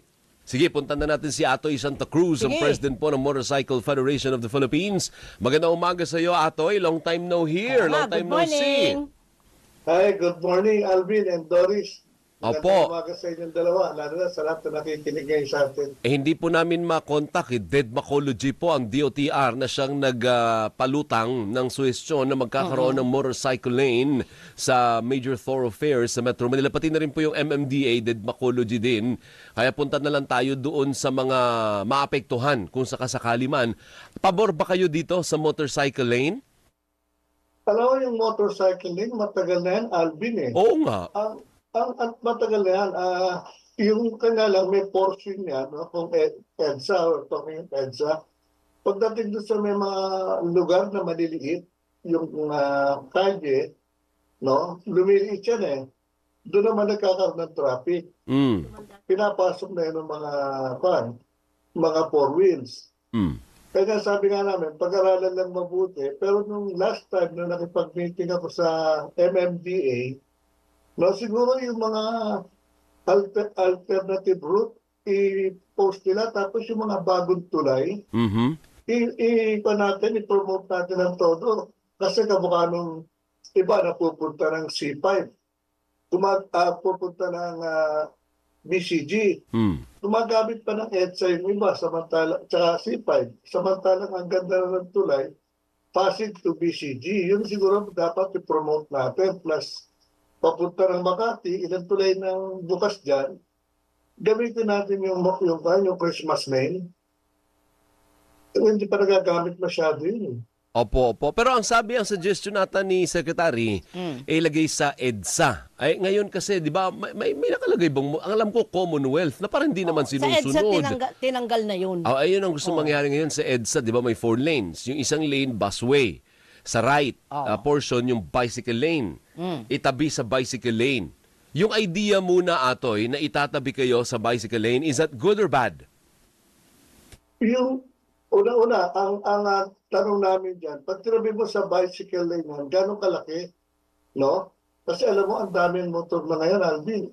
7.5 million na yata sa Pilipinas. Eh. Tapos, ah, ilang, gano'ng karami pa yung tinaas ng dumada, dumadaan ngayon dyan sa, sa EDSA. Plus, ang dami pang motorcycle taxi na dyan ang gamit talaga ng nila.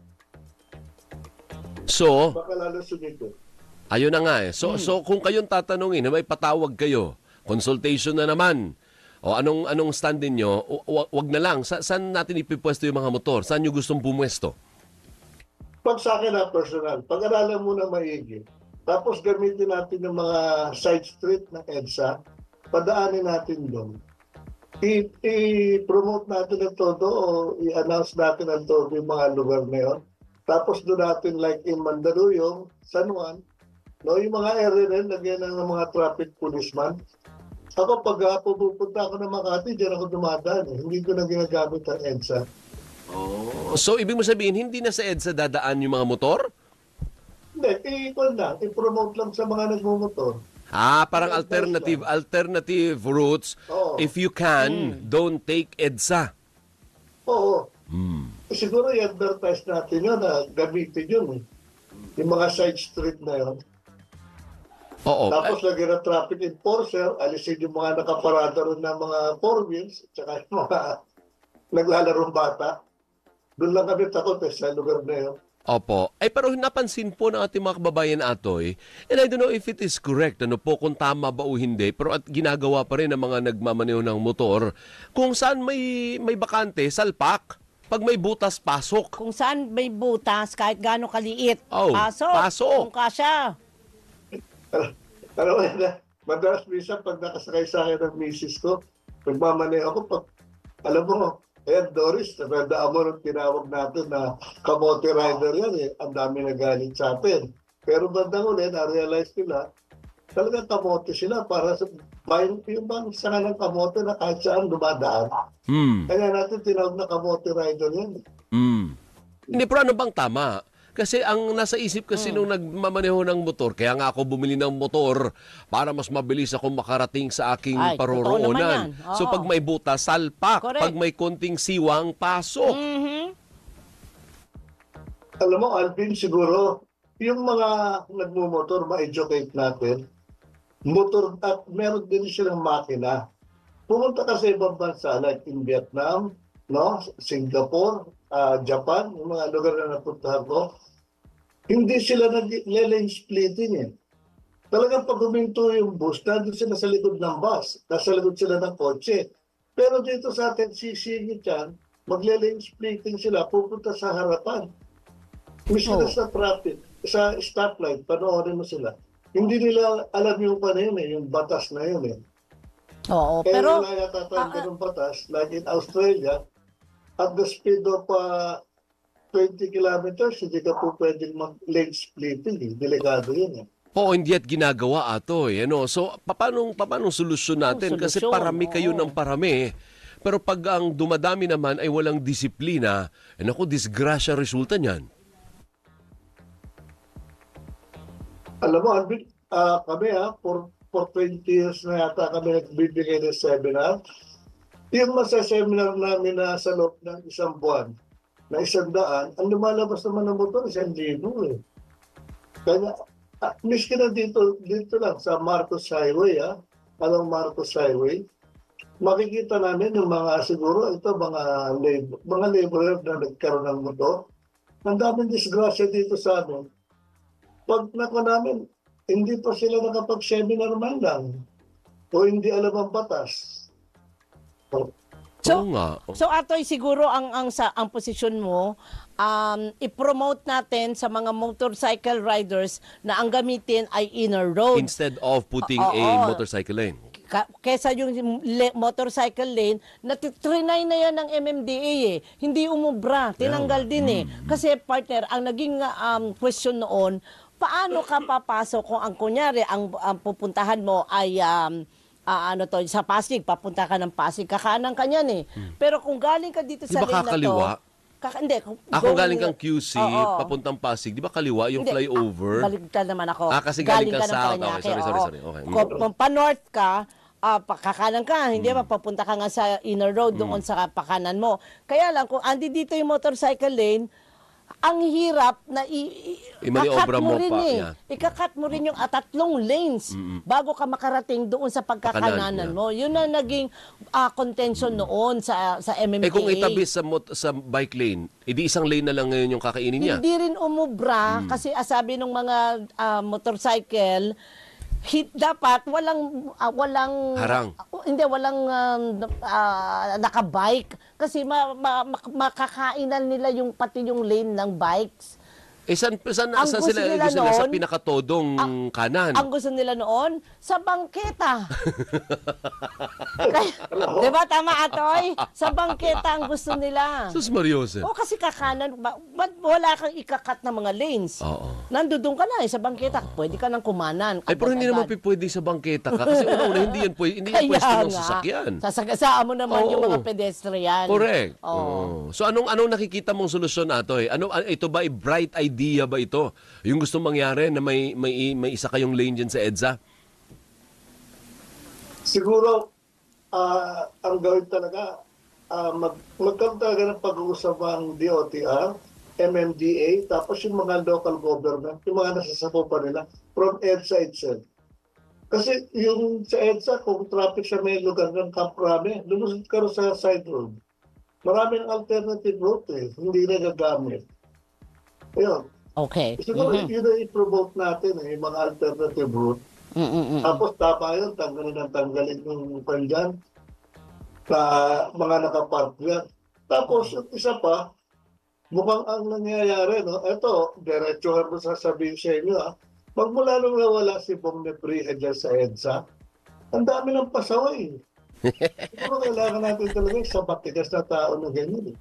Ay, nako. Oo. Ay, na, at least naririnig ka ito eh, ng, ah, ng ang mga kinauukulan. Correct, Ito na may correct. napapag-usapan lang. Thank you ha, maraming maraming salamat sa oras Maraming mo, Toy. salamat. Ingat lagi, ano po? Thank you. Ah, ba? Sige Thank you, lang. Alvin. Thank you. Okay, bye-bye. Sige noong Atoy Santa Cruz, ang president po ng Motorcycle Federation of the Philippines. Hoy, Camille, nasan yung news item? Ay, ito pala. Okay, Good bati morning muna sa'yo, tayo, partner. ano, Go. ah, good morning sa'yo, Bong Nebria. Sana nakikinig ka pa rin sa amin. ah, sa academy daw, Oo partner. nga, nagtuturo Oo. na siya Oh, doon. sabi ni ni ano ni Eric Gala si China Heart to. Mm. Eh kanina lang naka-witness na naman ako eh. Oh. And my 14-year-old daughter ng motorcycle accident eh, in my honest and simple opinion, babalik lahat ito sa LTO eh. Paano nai-issue ng lisensya yung mga bagong motorcycle riders na sobrang walang alam sa laws, rules, and regulations sa kalsada. Eh, yan. Sinabi mo pa. Oo. Ibig sabihin, hindi talaga marunong. Marunong lang mag-start, marunong umarangkada. Yun na yun. Hindi po, may kasi may batas kang dapat alamin wala silang eh. alam na gano'n. Ha? Kaya, oo, dapat yan, kailangan dumaan kayong lahat kay Bong Nebriha. Para alam niyo Yung kung ano academy. talaga- Oo, sa academy. Oo. Para mahasa ko. At tsaka yung mga talaga nag, nagmamaneho na rin ngayon. Oo. Kumbaga refresher course. Oo, 'Di ba? oo. At kasi Tama. yung iba talaga wala na nasanay sila na pasaway. Oo. Mm. So parang mapapatunayan na meron talaga tayong education crisis. Ano? Hindi lang sa Exactly. basic education, kung hindi pati sa edukasyon po ng mga ng mga ganitong skill, Oo. driving skill. Driving Importante skills, po yan. oo. Sabi ni Dr. Angelo Librojo, motorcycle lane, ang mga four-wheel vehicles hindi gumagamit nun. Pero ang motorcycles, kung saan-saan sa kalye ang gamit. Yung iba kasi natutulala lang, ma- ano, natuto lang magpatakbo ng motor, binigyan agad ng lisensya. Yun nga. Sana mas marami gaya ni Mr. Atoy na responsable. Oo, pero mas marami pong hindi. eh. Oo. Maraming pasaway, hindi ba partner? Sisingitan ka. Kung Tsaka saan-saan yung- yan. Oo. Mm. ah, at hindi lang kami nagsesentro dun sa mga so-called ah, kamote riders. Pati naman yung mga nagmamaneho ng kotse, nagmamaneho ng jeep, yung mga... ga- Mm, ma- lahat. marami din. Lahat. Walang disiplina, hindi rin alam yung mga traffic rules and regulations, Mm. yung mga ganyan. Kaya kailangan talaga natin lahat. Mag-aral tayo ulit lahat ng ganyan. Gusto niyo pumunta tayong lahat sa Tugigaraw? Maganda maganda umaga si R.S. Kennedy. Shout out daw sa kanyang favorite younger sister, Richie Sante, who celebrated her birthday in L.A. without me. Ba, parang may himig ng tampo. ah. I hope you missed me. Ah. Happy Monday to all. May hugot ah! May, may bubog. May bubog. Mm. Mula kay Dulce, magandang lunes ng umaga. Alvin at Doris, mahirap kumuha ng student visa sa ibang bansa. Sa Pilipinas, basta may pera ka, may entry visa ka na. Sadly, ganyan po ang nangyayari. Sa Shark Bait, hindi ko natanong Shark Bait, pasensya ka na. At si Joyce Drueco, ah, makikibati na rin po happiest birthday to our high school friends Fred and April. Governor. Attendance check daw kay Ma- Ma'am Raquel ng ah, Bagumbayan, Santa Cruz, Laguna. Hello po, Ma- ma'am. Ma'am Elsie Balyon, magandang umaga po sa inyo at si Maricel Medrano. Thank you always keeping us updated. Happy morning, Governor. Si Osang, kanina pa raw siya gising, Oy. nakatune in na dito sa atin sa DWPM mula kay Steve and Chief Justice from Bulacan. Gising na gising na rin si Louie Basco. Magandang umaga si Louie Basco at si Mahadera Girl. Isama na sa test before bigyan ng lisensya. Also yung mga officials na gumagamit ng motor should lead by example. Correct. Lina Ho, ah, magandang gising. ah, have a safe and blessed Monday from, ano ba to? Saan ba si Ma'am Lina? Ito ba yung sa taga Lina Bulacan? Ho, yes. Ah. Suki natin yan. Thank you, ma'am. Okay ka na, partner? Yes, mamaya na iba. Mag-newscast na tayo. Ah, muli magandang gising Pilipinas, mga kaservisyo. Narito na ikalawang bugso ng ating mga panggising na balita. Itutuloy ng National Water Resources Board ang planong bawasan ang alokasyon ng tubig sa Metro Manila mula sa Angat Dam sa Mayo kapag nagtuloy-tuloy ang pagbaba ng tubig sa Angat Dam dahil sa kawalan ng ulan at matinding tag-init. Kahapon po bumagsak sa 191.73 meters ang water level sa Angat Dam na pinapangambang bumaba sa minimum operating level na 180 meters sa katapusan ng Mayo. Sinabi ni DNR Undersecretary Carlos David, Carlos Primo David, na muling pag-aaralan ng DNR at NWRB ang water level sa Angat Dam sa April 30. O nga po, di ba nag-usap nga tayo nito, dapat ah, hindi bababa sa 1 parang 189 if I remember correctly. Posible niyang tapyasan ng isa hanggang dalawang cubic meters per second ang allocation ng Metro Manila depende sa antas ng tubig sa Angat Dam. Ang Angat Dam ang nagsusupply ng mahigit 70% ng tubig sa Metro Manila. Una na nagdesisyon ng NWRB na panatilihin sa 50 cubic meters per second ang water allocation sa Metro Manila hanggang sa katapusan. Ngayon partner kasi Oh. factor yung tubig eh. Pag okay pa yung tubig mo, kahit Mm. paano maliligo't maliligo ka lang. Oo naman. Pero pag nangyari nagkaroon ng curtailment o Oo. pagbabawas, dyan yung ngayon mararamdaman partner, ang heat index halimbawa 43 Oo. o 44, walang tubig. Nako. Naku partner, magwawala ka. Puno ka ng init. Basta ma- Mm. mawiwisikan ko yon Yan. okay lang ako. Mm, okay. Alam na this. O pumasok ka sa ref. Oo, pwede rin. wag lang, meral ko ha, wag lang tayo mag-rotational brownout. Next, partner, next. Hinamon ni dating Senadora Laila de Lima si Vice President Sara Duterte na mag-resign bilang Education Secretary.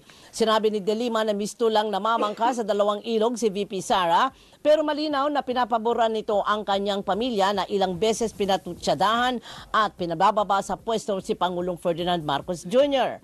Dagdag pa ni de Lima, pwedeng dumalo sa mga anti-Marcos rally si VP Sara pero dapat siyang mag-resign sa DepEd o manatili sa gabinete kondenahin ang mga rally at musala ng kanyang pamilya.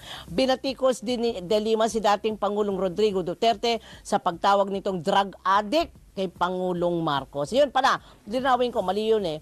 Pwede daw dumalo sa mga anti-Marcos rally si VP Sara pero dapat siyang mag-resign sa DepEd o di kaya ay ano to, wag nang manatili sa gabinete, kondenahin ang mga rally at busalan ang kanyang pamilya. O, ba't hindi na lang siya kausapin? Di ba? Kausapin siya ng presidente ng heart to heart na ano ba talaga. Oo. Ang sabi kasi, Mm. Bad shot ka sa akin. Eh, hindi, yung first lady yun. Bad yung shot yung ka first sa akin. lady po, remember, walang mandato ang unang ginang. Oo. Kaya lang, ang katabi sa pagtulog ng presidente Exactly. ay ang first lady. Malaki ang ah, ano to nagagawa o, o malaki ang say ng first lady Mm. sa ganyang klaseng ah, sistema natin. Opo. Pero siyempre hindi aamin si Pangulong Marcos Ay, Pender. hindi. Kasi siyempre Sabi wala ni- namang mandato yung unang ginang. Oo, eh. sabi ang ni mga mandato Pangulo, ay siya. Mm. "Ah, hindi, hindi ko gagawin yan, sabi niya kay First Lady Lisa Araneta. Pinaglalabay. Sabi ni ba, Pangulo, hindi ko gagawin yan, Pangulo na ako eh. Eh, pam, pum, nagpamewang si Mrs. Mrs. pa rin yan, di ba? Pakikinggan. Posible yung manong masibak sa gabinete si Education Secretary at ito ba yung binasa mo partner o iba yun? Iba yun, At iba. Vice President Sara Duterte dahil sa hidwaan nila ni First Lady Liza Araneta Marcos sa kanyang post sa social media. Sinabi ni Attorney Barry Gutierrez na hindi malayong masibak bilang DepEd Secretary si VP Sara dahil sa sitwasyon ngayon. Pero nakakabilib pa rin niya si VP Sara dahil sa kabila ng bulgar na alitan nila ng First Lady, ayaw pa rin umalis nito sa kanyang pwesto sa gabinete. Naalantad ang hidwaan ng dalawang ginang sa panayam ng mamahayag na si Anthony Taberna sa First Lady. Inamin ni Ginang Marcos na sumama ang loob niya kay VP Sara nang tumawa ito nang tawagin ni dating Pangulong Rodrigo Duterte na drug addict si President Ferdinand Marcos Jr. Gid pa ni Ginang Marcos sumobra na at bad shot na sa kanya si VP Sara. Partner, paniwalagan mo nga ako. Bakit ka mo? Doris Turid, Oh. PNP, naka-heightened alert simula sa Palm Sunday. Oo nga, bakit ganun, Camille? Bakit pa Palm Sunday tapos na yung ano ah? May nahalubilo ng mga lumang Uy, screen Camila, natin. ano nangyari dito? Ba't may item tayo on Palm Sunday? Ano ba naman yan? Ikaw na nga, partner. Go- Basahin mo na yung susunod ko. Dito na ako Oh. kay Risa Ontiveros. Oh, sige, go. Okay.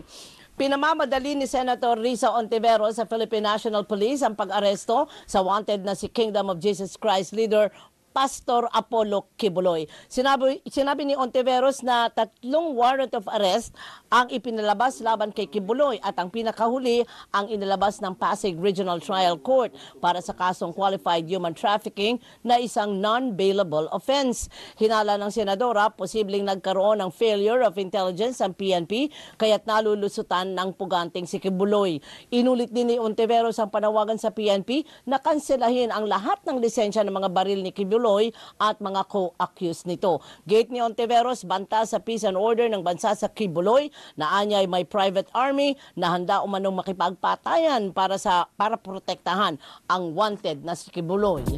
Maganda maganda umaga sa inyo, ah, Ginoong ah, Fred Mison. O, tagal ko na hindi nakausap ito, partner. ah. Sino siya? Sa- Fred Mison. Sabi Fred niya, Mison. listening to your radio program, we really need to have discipline among our motorcycle drivers. So po, parami po ng parami yung ating mga Correct. motorcycle riders. Kaya kailangan po talagang may disiplina, partner. Mhm. Eh kasi disgrasya po yan, sinasabi ko sa inyo. O, Diba? Oo, tsaka lahat ngayon ng tao, lalo na at ah, ganitong ah, tagtuyot, Mm. ay naku, natutuyot na rin ang utak ng lahat. Ang talagang ma- ma- ma- ano, mahirap kontrolin ang mga emosyon, partner, kapag ka nagkagit-gita na dyan. Sa Amerika po, nuknukan ng hirap kumuha ng driver's license. Oo, kinatatakutan nila talaga ang Oo. pagkuha ng driver's license. Pero nagbubunga naman po kasi ang napuproduce naman, kahit mahirap siya, ang napuproduce naman ay yung marunong talagang Alam. magmaneho. Correct. Alam. Oo. Yung basic na lang. Sige na, yung Exactly. basic na lang. Eh, pero hindi mo alam yung mga basic na traffic rules. Pati yung traffic signs hindi mo alam. Oo. Paano ka susunod? Sige nga. Wala eh. Wala. Kapag may nakita ka dyan, halimbawa na 60, Oo. may nakita 60 nakalagay sa bilog, di ba? Oo. O akala mo hindi, baka favorite number niya 60. Oo, ah, sabi- Nag-80 ka. Hindi, Oo. nagdabog. Oo. Ano na naman babayaran ko 60? Gumaganyan siya. o di napaapakan niya yung preno dahil nagdabog gumanyan. O eh, di nasudsud siya nung, kabe, ng nasa Ay, likod. Diyos mio. Ano ba yan? Mm. Jun Fajardo!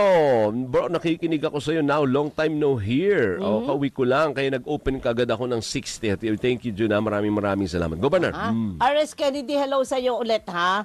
Ah, nabasa mo na si RS Kennedy kanina, 'di ba? Yung Yes, nag-birthday. partner. Oo. Oo. Joyce Drueco, magandang umaga sa iyo. Ay, teka muna. Ba't sabi Mm. ni Chairperson Mona Lisa Dimalanta, wala pa raw siyang ano, link? Ano daw? Bakit? Ayan, Ah. padala na kita, mama. Siya ang susunod nating bisita partner, ang pinuno po ng Energy Regulatory Commission Mm. na si Attorney Mona Lisa Dimalanta. Tanungin nga po natin, so, so sang katerbang planta po ang bumagsak? So, ganun na lang? Wala, parang wala lang. So, sabi kasi Sorry nung mga na lang. pla- sabi ng may may-ari ng planta, sorry na, gumaganyan. Parang galit pa.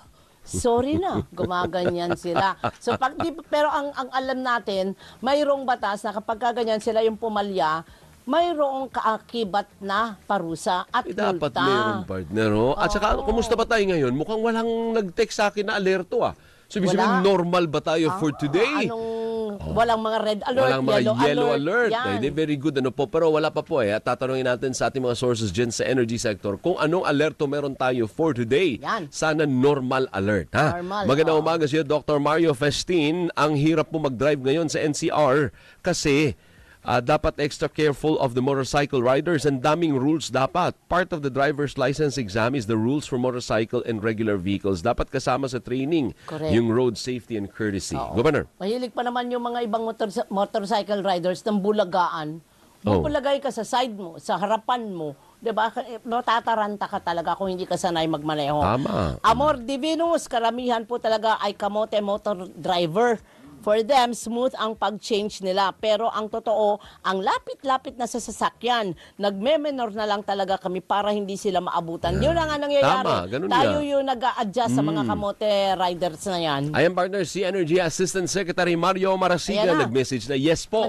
Luzon and Visayas grids are normal Yay! today. Yay! Yay! Normal po tayo, hindi tayo kakaba-kaba na magkaroon po ng brownout. Sabi ni Asek Marasiga, normal today as reported by NGCP. Thank you! Thank you, Lord! Maraming, maraming, salamat maraming naman. salamat. Sana ma-maintain natin yan. At kaya in the meantime, magtipid po tayo ng kuryente natin. Do our part. sorry, sorry. Aga-aga, Sorry, may nag-aalmusal. Magbabalik pa rin po ang Gising Pilipinas! Gising na! Gising na! Bango na! Bango na! Gising! Pilipinas na! Ang pinaka pinagkakatiwalaang boses ng bayan, Kabayang Noli De Castro, pinarangalan ng Reader's Digest bilang most trusted radio presenter para sa taong 2024 para sa kanyang dedikasyon sa responsable at matapang na pamamahayag at serbisyo publiko sa radyo. So pangunay pa rin po ang misyon na magbigay tayo ng balita na bago at totoo. Maraming salamat sa tiwala, mga kaserbisyo. Bango na! Tutok na! Buhos na ang balita at impormasyong may kasamang saya sa umaga. Hatid ng magpapagising sa morning mo. Alvin El Chico. Kayo po ba'y na-recharge? At ang magpapaganda sa araw mo. Doris Bigornia. Handang-handa na para magbanat na naman ng butong Tara na tumutok sa Gising Pilipinas. Lunes hanggang Biyernes, alas 6 ng umaga sa Teleradyo Servisyo at Radyo sa 6.30. Buo na ang umaga mo sa Teleradyo Serbisyo at Radyo sa East 30. Mainit na balita ang ihahain ni na Alvin El Chico at Doris Bigonya sa Gising Pilipinas. Alas 6 ng umaga, back-to-back sa balitaan ang Teleradyo Serbisyo Balita. Kasama si nakabayang Noli de Castro at Joyce Balancho. Alas 7.30, tuloy ang serbisyo at talakayan sa Kabayan. Kasama si kabayang Noli de Castro. Alas 8, Hihimayin ni na Johnson Malaba at Joyce Balancho ang mga issue sa Tindig ng Bayan. Alas 9, public service ang ibibida ni na Bernadette Sembrano at Winnie Cordero sa Tatak Servisyo. Alas 10.30 ang kukumpleto sa tanghalian mo. Ito ang bagong balita at serbisyong hatid ng Radyo 630 at Teleradyo Servisyo. Ang puntahan ng bayan.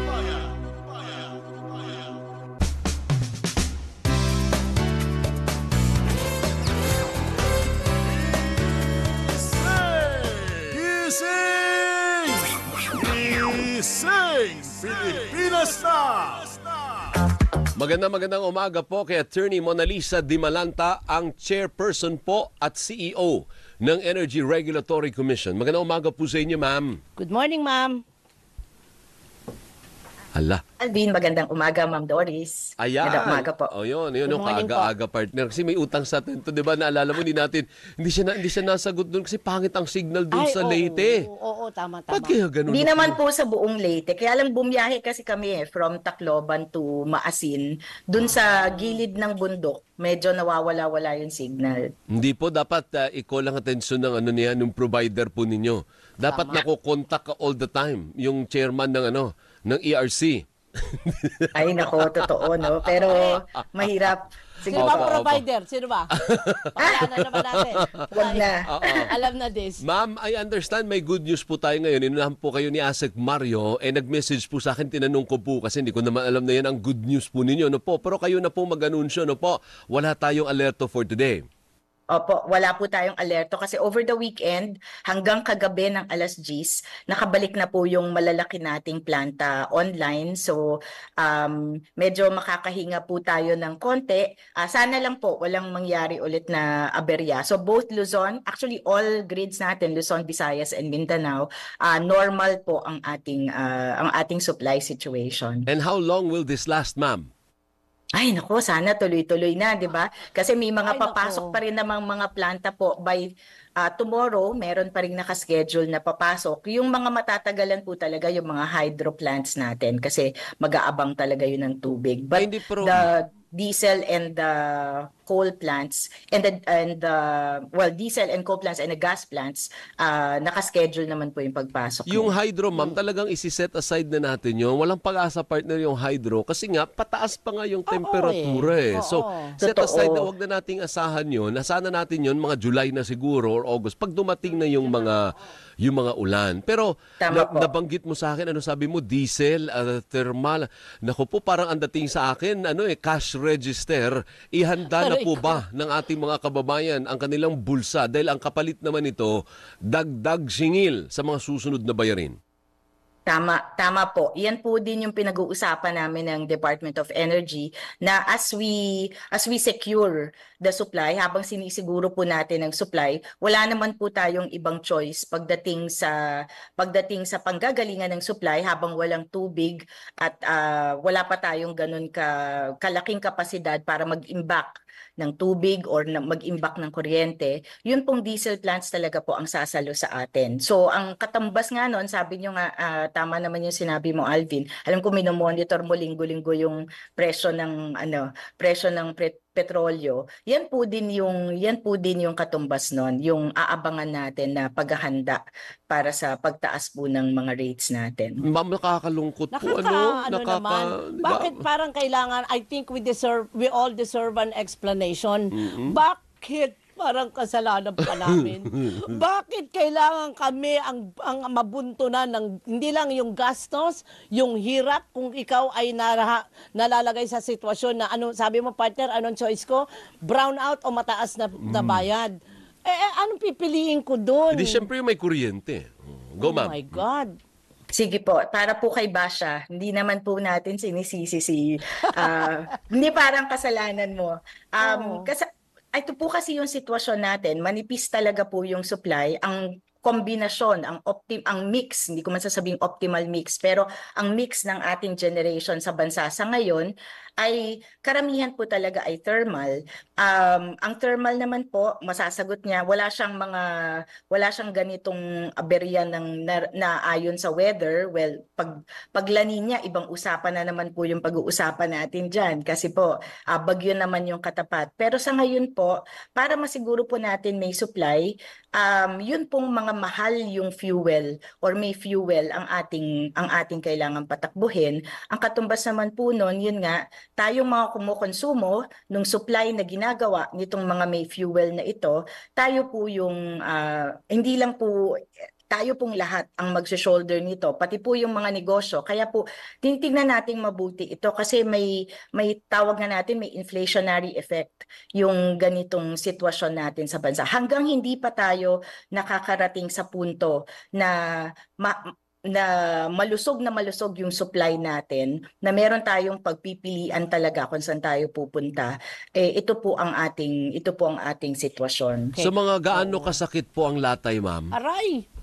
ay pinapa-estimate ko pa po. Ayoko pong mag ano, ayokong magbigay ng number na ano, pero yan na yung pinaghahandaan namin para naman mahanda natin din yung bulsa natin, 'di ba? Pagdating sa pagdating sa mga bagay na to. Pero wag po kayong mag-alala kasi ho 'di ba last year, ah, actually 2022 pa, December 2022, pero na pumasok lang siya 2023. 'Di ba po pinagtibay na namin yung fuel cost audit namin dito sa ERC para masigurado na yung distribution utilities natin ang ipapasa niya sa mga gantong sitwasyon, yung tama lang po, na wala namang mananamantala ng ganitong sitwasyon. Binabantayan din po namin yung presyo sa WESM para siguradong hindi ma- hindi ah, yung tinatawag nating gaming or paglalaro sa WESM ay ah, mapigilan at maiwasan. Kung may nag-gaming man, hahabulin po natin yan. Hari naway matuloy po yan at tama, talagang ma Mabantayan. anta- mabantayan. Mm. Pero talon ako doon, balikan ko yung nanggigigil ako doon sa mga planta eh. Ang dami pa rin sa Sabay-sabay eh. Ano? Oh, Mm. maintenance, maintenance, ma'am. Yan po ba ay mapaparusahan o wala lang yan? Sorry lang. Ay, hindi po, sorry lang yan. Iniimbestigahan po namin yan. Dalawang punto po yung imbestiga, investigasyon namin dyan. Sa reporting, kasi po may reporting requirements. And may nakita na po tayong mga planta na hindi nag-report agad nung kanilang sitwasyon. Kaya po din nagkagulatan kasi po um, hindi din sila nag-report agad. Pangalawa po, yun nga po yung sinasabi ninyong maintenance. Kasi po usu- eh, hindi usually, nasa polisiya ng DOE na pag summer months, wala dapat nagsischedule ng maintenance niya. So kung sakali pong unplanned yon, titingnan naman po natin yon. Sa bagay, tawag po natin unplanned or forced outage. Lumampas na ba siya doon sa allowance niya? Kasi po may mga allowance lang po yan para sa taon. So nakabantay din po tayo dyan. Yan po yung tutok nung ah, investigasyong ginagawa po namin ngayon. Opo. Sa anong planta yun? Yung hindi nag-report agad kamo? Ay marami-rami ha. I, bigay na lang namin ng listahan pag po naayos na namin yung datos. Pero may rami-rami din yung mga planta na hindi nagbigay ng report. Ma'am, pahingi po ako, mama, para magamit ko mamaya sa report ko. Ano kamo yung um, parusa pag ganyan na hindi ka Mm. nag-report? Ah, may penalties po yan. Ah, hindi ko lang po kabisado ngayon yung schedule namin ng penalty kasi po titingnan natin kung unang beses lang ba niyang ginawa ito. Di mababa pa lang yung penalty. Pero pag po pang ilang beses na niya to, tawag natin recidivist, paulit-ulit na ito yung ah, paulit-ulit siya sa kanyang mga um, ah, failures, ah, mabigat na po yung parusa niyan. Opo. So, Kaya bang i-assure ni uh, Mona Lisa Di Malanta na wala Hmm. na tayong problem? No, back to normal na tayo, di ba? Oo. Kaya bang ngayon, siguraduhin wala na, yun oo. buong summer? hindi na tayo magkakaproblema? O Correct. hindi pwedeng siguraduhin, ma'am? Hindi po, hindi ko po kaya. Hindi po kaya ng powers ko. Wala siyang powers na ganun, partner. Ako. Hindi kaya, hindi kakayanin. Hindi kayang is- ay, assure, ma'am. So we live by the day. Mhm.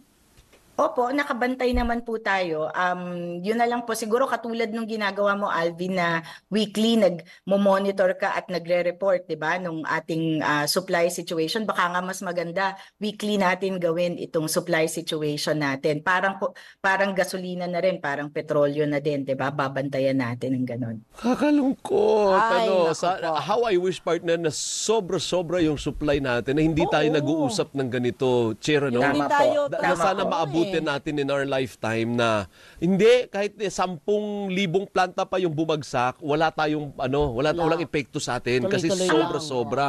Actually, Alvin, ang unang-unang sagot dyan, yung, di ba, kung maalala mo, December pa lang or January pa lang, ah, kumakatok na ako dito, nag-guest din ako sa inyo para sabihin na yung mga may kakayahang mag-self-provide